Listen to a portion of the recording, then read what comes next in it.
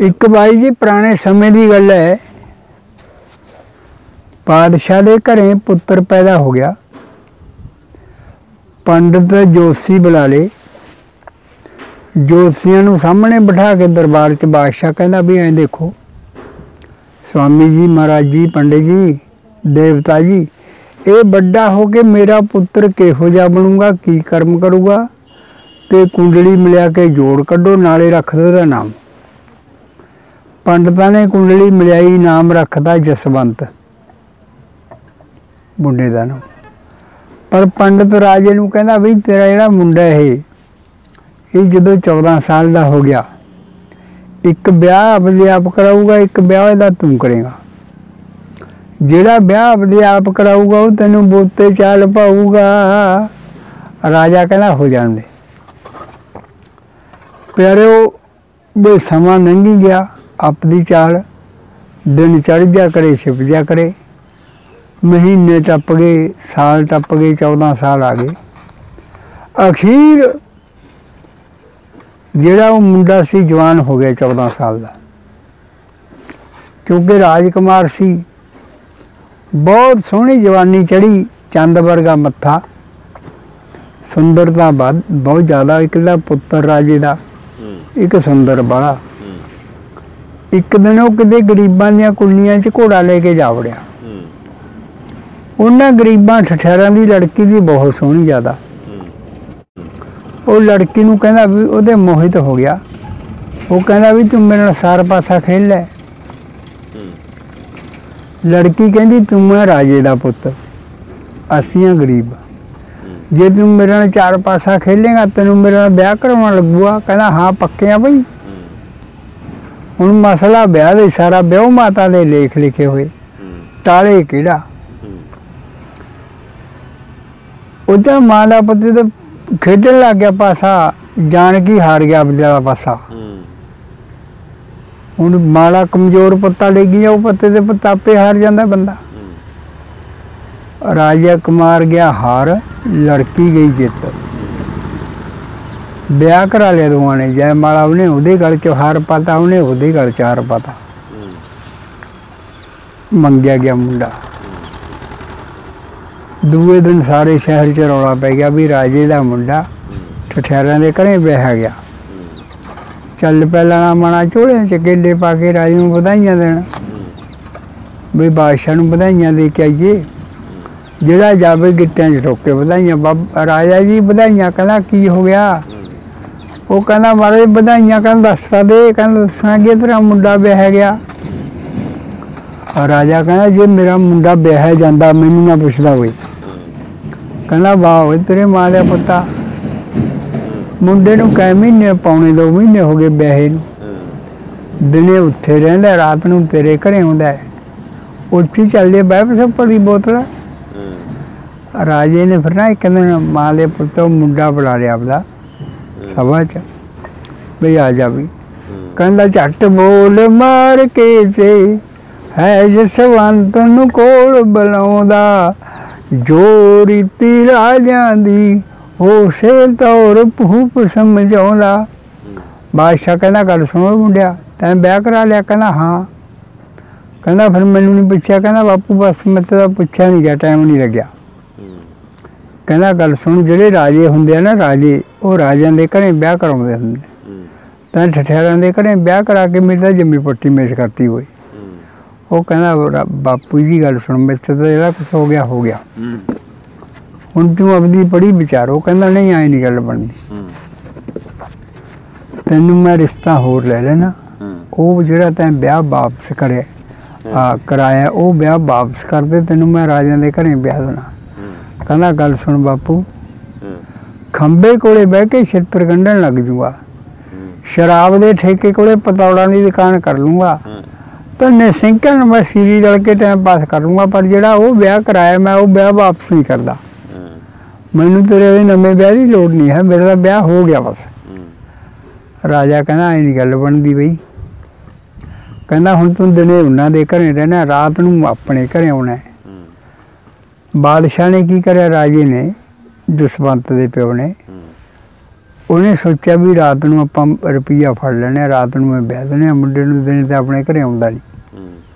ਉਹਨੇ ਭਾਈ ਢਨੋਰਾ ਫੇਰਤਾ, ਕਹਿੰਦਾ ਵੀ ਲੋਕੋ, ਮੈਂ ਆਪਦੇ ਮੁੰਡੇ ਨੂੰ ਰਿਸ਼ਤਾ ਲੈਣਾ ਰਿਸ਼ਤਾ ਤਾਂ ਲਊਂਗਾ, ਜੇ ਕੋਈ ਰਾਤ ਨੂੰ ਰੁਪਈਆ ਫੜਾਊਗਾ। ਇੱਕ ਹਿਮਾਚਲ ਦਾ ਰਾਜਾ ਹੂੰ ਉਹਦਾ ਉਹ ਕਹਿੰਦਾ, ਆਪਾਂ ਨੂੰ ਕੀ ਚਾਹੇ ਪੈਰ ਦੇ ਤੜਕੇ ਫੜ ਲਿਆ ਅਗਲਾ। ਆਪਾਂ ਤਾਂ ਮੁੰਡੇ ਨੂੰ ਸਾ ਕੇ ਕਰਨਾ। ਰਾਤ ਨੂੰ ਇਹ ਵਿਚਾਰਾ ਦੇਖੀ, ਐ ਰਾਤ ਨੂੰ ਇਹ ਫੜਾਤਾ, ਰਾਤ ਨੂੰ ਇਹ ਪੈ ਗਿਆ ਸਗਨ। ਰਾਤ ਨੂੰ ਇਹ ਬੰਨਦੀ ਖੰਮਣੀ ਗੁੜ, ਲੱਡੂ ਲੱਡੂ ਦਾ ਕਿਹੜੇ ਦੇ ਗੁੜੇ ਵੰਡਦਾ ਰਾਤ ਨੂੰ ਵਹਿ ਗਿਆ, ਮੰਗਿਆ ਗਿਆ। ਮੰਗਣ ਤੋਂ ਬਾਅਦ ਜਦ ਤੜਕੇ ਨੂੰ ਗਿਆ ਸਹੁਰਿਆਂ ਦੇ ਘਰੇ, ਲਾਣੇਦਾਰ ਨਹੀਂ ਕਹਿੰਦੀ, ਹੁਣ ਤਾਂ ਤੂੰ ਮੰਗਿਆ ਗਿਆ। ਹੁਣ ਤੂੰ ਰਾਜਿਆਂ ਦੇ ਮੰਗਿਆ ਗਿਆ। ਹੁਣ ਤਾਂ ਸਾਥੋਂ ਕੀ ਲੈਣਾ? ਹੁਣ ਹੁਣ ਕਹਿੰਦੀ ਕੀੜੀ ਦੇ ਘਰ ਨਾਰਾਇਣ ਕਿਵੇਂ ਆਊਗਾ, ਹੁਣ ਨਹੀਂ ਆਉਂਦਾ। ਕਹਿੰਦਾ ਗੱਲ ਸੁਣ, ਚਾਹੇ ਮੈਂ 20 ਵਿਆਹ ਕਰਾ ਲਾਂ, ਤੂੰ ਬੜੀ ਪਟਰਾਣੀ, ਉਹ ਛੋਟੀ ਪਟਰਾਣੀ। ਕਹਿੰਦੀ ਪਟਰਾਣੀ ਦੀ ਲੋੜ ਨਹੀਂ ਹੈ ਗੱਲ ਸੁਣ। ਜਦ ਮੇਰੀ ਜੰਨ ਜਾਊਗੀ, ਮੈਂ ਜੰਨ ਚੱਲੂਗੀ, ਕਹਿੰਦਾ ਚਾਹੇ ਸਣੇ ਬੁੜੀ ਪੱਗ ਚੱਲੇ ਹੋ। ਤੂੰ ਕੱਲੀ ਕੀ? ਵਾਹ ਬਈ ਵਾਹ। ਉਹ ਕਹਿੰਦੀ ਮੈਂ ਮੁੰਡਾ, ਕਹਿੰਦਾ ਤੂੰ ਕਿਵੇਂ ਜਾਵੇਂਗੀ ਮੇਰੀ ਜੰਨ? ਤੂੰ ਤਾਂ ਕੁੜੀ ਆ, ਕਹਿੰਦੀ ਮੈਂ ਮੁੰਡਾ ਬਣ ਕੇ। ਤੇਰਾ ਸਰਵਾਲਾ ਬਣ ਕੇ ਕੋਟ ਪੈਂਟ ਪਾ ਕੇ ਹੂੰ। 50 ਲਾ ਕੇ ਪੱਗ ਬੰਨ ਕੇ ਤੇਰੇ ਨਾਲ ਚੱਲੂਗੀ। ਅੱਛਾ। ਕਹਿੰਦਾ ਵਗ ਚੱਲੀ ਬਈ। ਹੂੰ। ਕਹਿੰਦਾ ਲੋਟ ਨਹੀਂ ਆਉਣਾ ਕੰਮ। ਕਹਿੰਦੀ ਬਾ ਬਈ ਬਾ ਮੈਂ ਜ਼ਿੰਮੇਵਾਰ ਹਾਂ। ਹੂੰ। ਹੁਣ ਇੰਨੇ ਰਾਜੇ ਨੇ ਵਿਆਹ ਧਰ ਲਿਆ ਜਸਵੰਤ ਦਾ। ਹੂੰ। ਜਿਹੜੀ ਲੜਕੀ ਨੂੰ ਵਿਆਹਣ ਜਾਣਾ ਤੇ ਉਹਦਾ ਨਾਮ ਦੀ ਪਚਿੱਤਰ ਕੌਰ ਤੋਂ ਵਰਗਾ ਰੰਗ ਚਿੱਟਾ। ਹੂੰ ਬਾਲੇ ਚੰਦ ਵਰਗਾ ਮੱਥਾ ਤੀਰ ਕਮਾਨ ਵਰਗੀਆਂ ਸੈਨੀਆਂ ਰਾਜਕੁਮਾਰੀ ਵਧੀਆ ਸੋਨਲੇ ਵਾਲਾਂ ਵਾਲੀ ਕਾਨੂੰ ਛੜੇ ਛੇੜਦਾ ਮਾਲਿਆ ਪੁੱਤਾ? ਆਹਾ ਇਹ ਲੱਗੀ ਬਰਾਤ ਤਿਆਰ ਹੋਣ। ਹਾਥੀ ਘੋੜੇ। ਹੂੰ। ਲੌ ਲਕਸ਼ਰ ਚੱਲ ਪਿਆ ਸੰਧੂਰੇ ਹੋਏ ਹਾਥੀ 'ਚ ਬਿਠਾ ਲਿਆ ਮੁੰਡਾ। ਹੁਣ ਪਹਿਲਾਂ ਹਾਥੀ ਘੋੜਿਆਂ 'ਚ ਬਰਾਤ ਜਾਂਦੀ ਹੁੰਦੀ। ਬੱਗੀ ਚ ਲਣ ਲੜਨੀ ਬਹਿਗੀ ਨਾਲੇ। ਪਾ ਕੇ ਨਾ ਕਾਲਾ ਕੋਟ ਪੈਂਟ। ਧਰ ਕੇ ਮੋਢੇ ਦੇ ਪਟਕਾ ਵਿੱਚ ਸਿਆਣੇ ਬੁੜੇ ਕਹਿੰਦੇ ਗੱਲ ਸੁਣੋ ਓਏ ਲੋਕੋ। ਆ ਜਿਹੜੀ ਆ ਪਹਿਲੇ ਵਿਆਹ ਦੀ ਹੈ ਲੜਕੀ ਹੈ ਇਹ ਮੁੰਡਾ ਬਣੀ ਹੋਈ ਜਿਹੜੀ।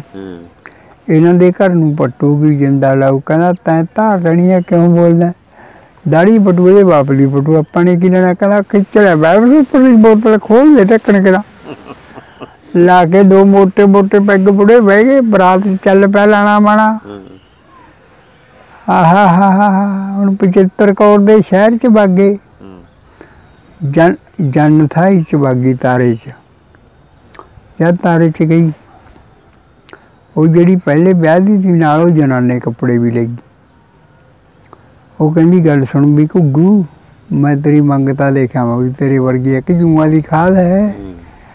ਜੇ ਤਾਂ ਹੋਈ ਤੇਰੇ ਵਰਗੀ ਮੰਗ ਤੇਰੀ ਫੇਰ ਵੀ ਤੈਨੂੰ ਮੈਂ ਦੱਸੂਗੀ। ਜੇ ਵਧੀਆ ਨਾ ਹੋਈ ਆਪਾਂ ਨਹੀਂ ਫਿਰ ਵਿਆਹ ਕਰਾਉਂਦੇ। ਘਰ ਨੂੰ ਚੱਲਾਂਗੇ, ਹੁਣ ਘਰ ਪੱਟਣ ਵਾਸਤੇ।